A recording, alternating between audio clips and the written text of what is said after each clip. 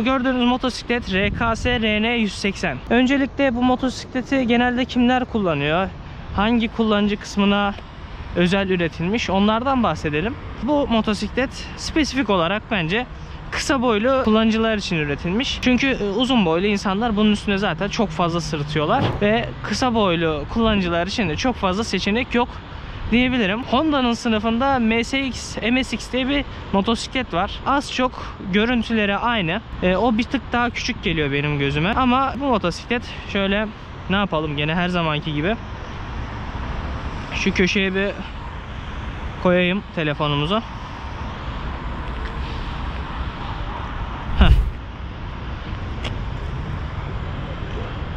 Buradan da biraz güneş vuracak ama tek başına video çekince maalesef prodüksiyon bu kadar oluyor.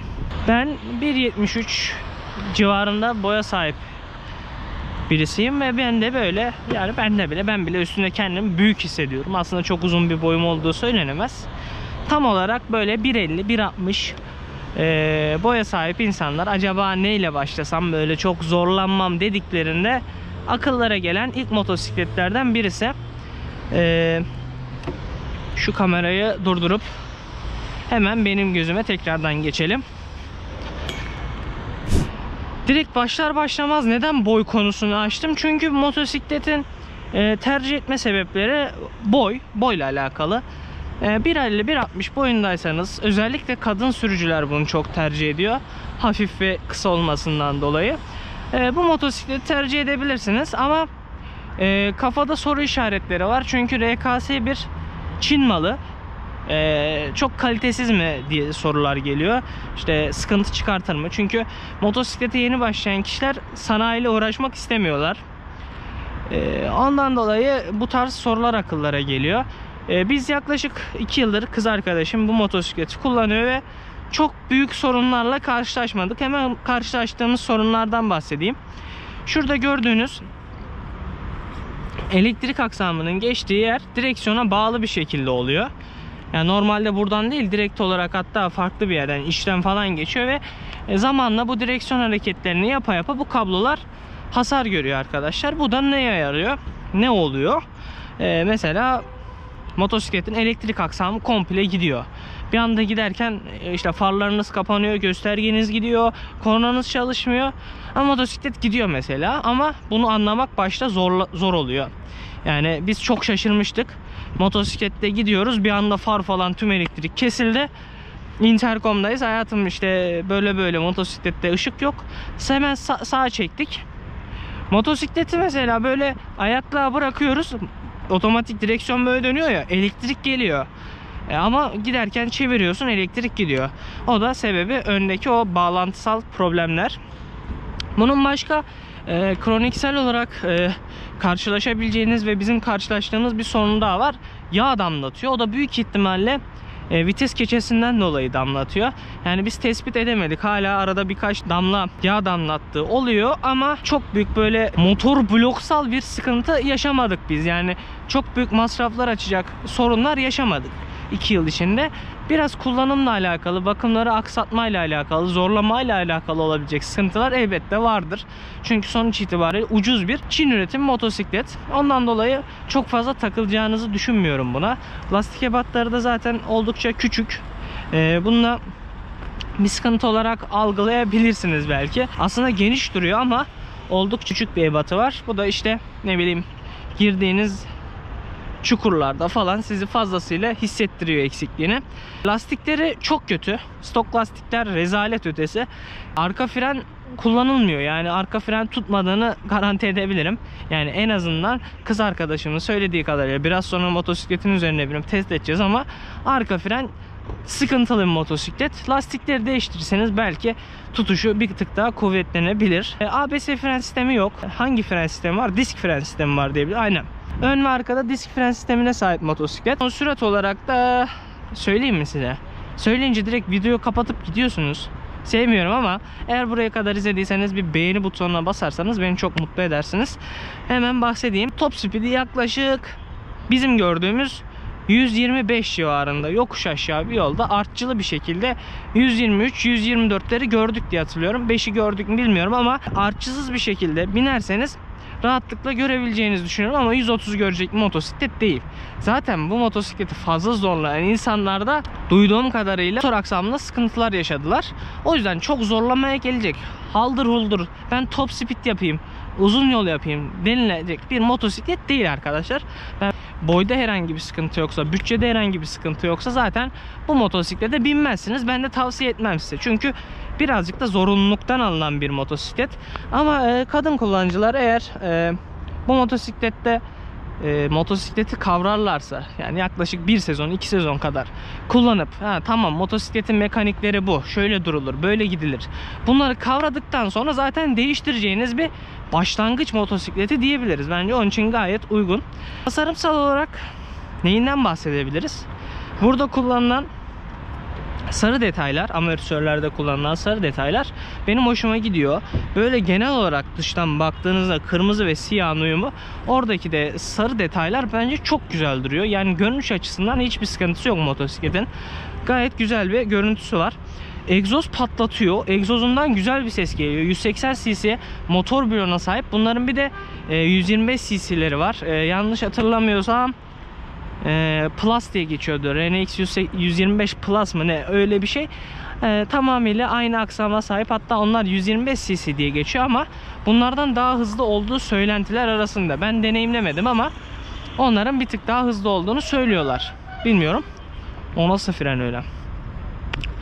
Aydınlatma bu ledler birazcık zayıftı önceden Pınar'ın. Ee, biz bunları değiştirdik. Aydınlatma açısından da öne güzel sağlam bir led taktıktan sonra sıkıntı yaşayacağınızı düşünmüyorum. Burada kullanılan parçalar tırt abi. Bunlar bildiğim yani plastikimsi bir şey. Sert plastik olabilirler. Zaten e, bizim de neresi kırılmış? Burada bir yerde bir kırık parça var. Şu alt kısım aynen. Düştüğünde şurayı böyle yapıştırmışlar. Çok sağlıklı değil yani parçalar. Sağlam değil. Burada klasik plastik kullanılmış zaten. Her motosikletteki gibi. Bunlara böyle üçlü koruma takozları falan takıyorlar öne arkaya. O da gayet güzel oluyor. Tavsiye ederim eğer taktırabilirseniz. Buralara ve şuralara takılıyor. Başka böyle bakmamız gereken ne söylenebilir? Bir paneline göz atalım bunun. Nasıl bir paneli var? Göstergede neler var? Şöyle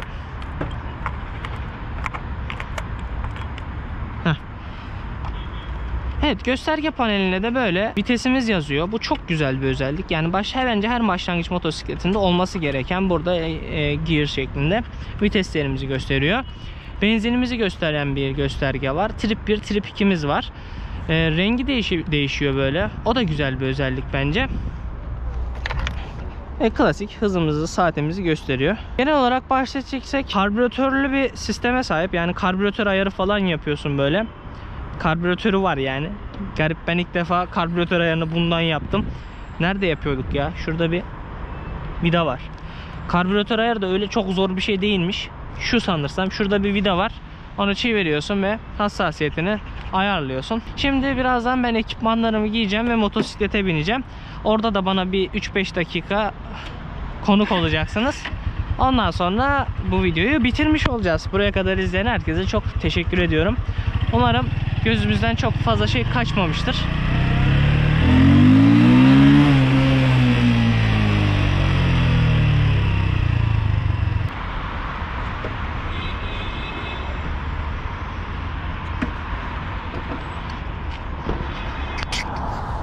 Hop tekrardan selamlar. Şimdi ekipmanlarımızı giydik. Motosikletin üzerine binip birkaç deneyimden, tecrübeden bahsedeceğim üzerindeyken hissettirdiklerinden. Şimdi açının biraz dar olduğunu farkındayım ama bu 50 FPS mevzusunu bozmamak için e, en geniş açıyı almadım. Ama zaten çok kısa sürecek motosiklet üzerindeki tecrübelerimden bahsetmem. Birkaç fren testi yapacağız. Hızlanma testi yapacağız. Ve motosikletin nasıl hissettirdiğinden bahsedeceğiz. O kadar. Şimdi ilk olarak e, fren testinden başlayacağım ben. Orada bir Hop. Evet. Bence duruş, duruşu gayet güzel. Şimdi basalım e, ön frenle ortalama 30 kilometrede Yaklaşık ne kadar sürecek durmamız? Şu okun orada basacağım frene.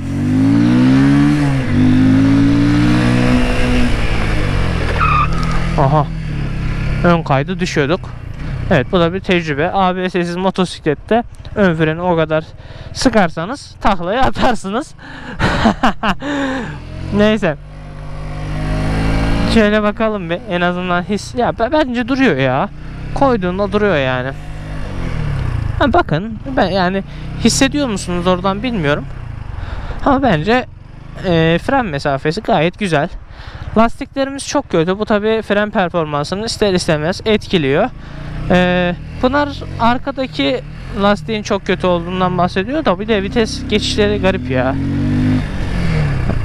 Evet, evet, evet. Gerçekten arka frenleri çok kötü arkadaşlar. Yani lastikten midir artık emin değilim yine. Ama arka fren tutmuyor. Yani bunda kombine bir fren sistemi olarak böyle bu şekilde gayet güzel duruşlar sergileyebilirsiniz. Evet evet. Ya kombine şekilde kullanırsan gerçekten sıkıntı yaşamazsın. Hızlanma olarak şöyle bakalım isterseniz. Şu baştan başlayalım. Kaç kilometre hıza kadar ne kadar sürede çıkabiliyoruz? Şöyle bir dip gaz yaptık.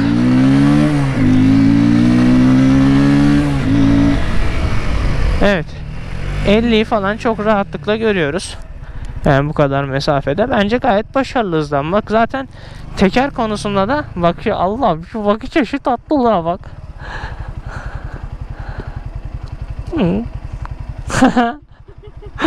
Ne nereye koyacağım ben bunu?